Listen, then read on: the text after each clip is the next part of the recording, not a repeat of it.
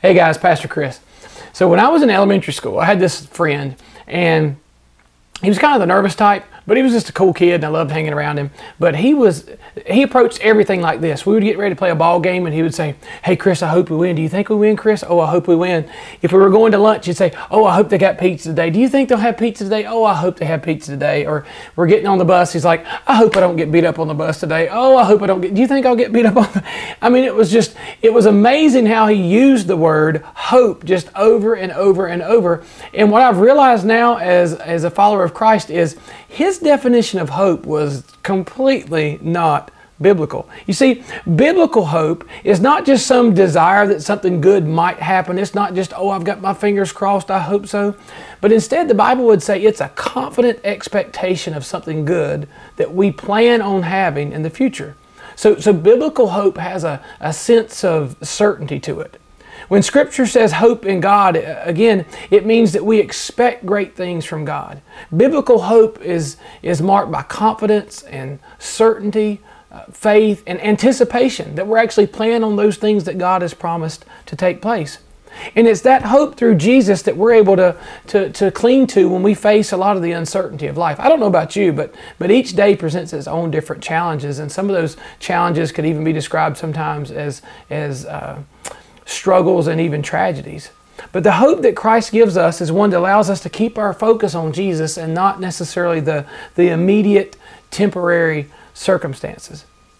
I think there's this great text. It's in Luke chapter 21. I hope that you'll read the whole chapter, but, but we're told of some of the challenges that the earlier followers of Jesus faced, and, and quite frankly, it's challenges that we face as well. And even though they were facing uh, challenges and opposition and persecution, the Bible refers to these moments as opportunities. These times of persecution and harassment and trouble were opportunities, the Bible says, not tragedy. It wasn't the end, but just the beginning of something for the disciples. These, these difficult times were not the worst thing that could happen, but they were the greatest opportunity that these early followers had been given. You see, because of the hope that we have in Jesus, just as it says in chapter 21, our difficult times may be our opportunities, our opportunities to proclaim our faith in Christ, our opportunities to bear witness to the goodness of God. Wow, because of the hope of Christ, it really can change our lives. We understand that even the tragedies in life can be our best opportunities. Because when the world runs out of hope, when the world runs out of help, that's when we Christians are to run in with the message of Christ. And yes, in our own lives, things may be hard. It may seem like the earth and the world is falling apart, but it's simply an opportunity, a chance to say that, you know what, this world may be falling apart, but let me tell you about a world beyond this world. Let me tell you about a home that, that we have, and this world is not it. Let me tell you about a hope that I have, a hope that, that this world can't give you. And you know what? It's a hope that this world can't take away. Folks, we have a message of hope.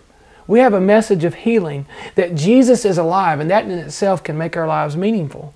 So what Jesus is saying is this is hope in the Lord. Lord. Psalms 135 says, I wait for the Lord, my whole being waits, and in his word I put my hope. So don't despair.